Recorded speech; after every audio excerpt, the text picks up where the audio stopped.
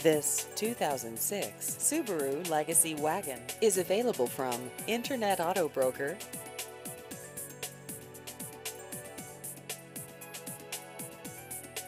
This vehicle has just over 95,000 miles.